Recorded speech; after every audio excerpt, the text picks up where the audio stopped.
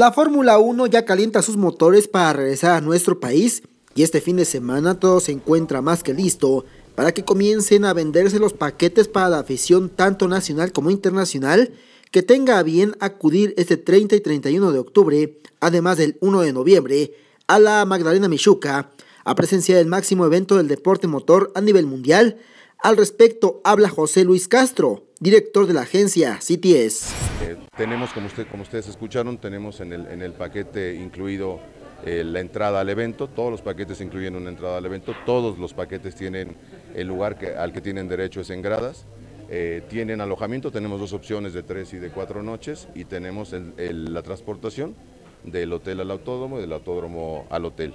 Tenemos opciones de, diferentes a los que tenemos en los paquetes, sí, pero esos son, vamos a decir son servicios ya especiales. En cuanto a los precios, el director de esta empresa mencionó. Sale la preventa con las tarjetas los días 9, 10 y 11, eh, con una serie de facilidades y de promociones que cada una de las tarjetas está dando.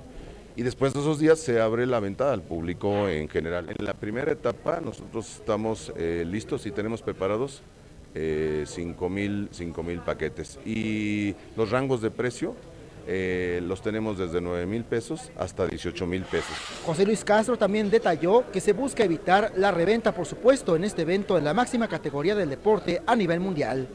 Yo creo que todo va a depender de qué tanta demanda haya, porque si durante los primeros eh, tres días se acaba todo, yo creo que ahí sí, como la ley de la oferta y la demanda, va a haber, va a haber mucha intención de querer conseguir más boletos y yo creo que Ticketmaster lo debe de estar considerando. Si vimos ahorita lo que, lo que contestó Diego, es que la pista dijo que creo que tiene capacidad de 100 mil boletos. Yo, creo que hay, yo creo que hay una muy, buena oferta. Lo que en este momento todavía desconocemos es cómo va a reaccionar el público y cómo va a estar la demanda. Yo creo que es muy, es muy pronto para adelantar. En la Ciudad de México, Enfoque Deportes, Carlos Guzmán.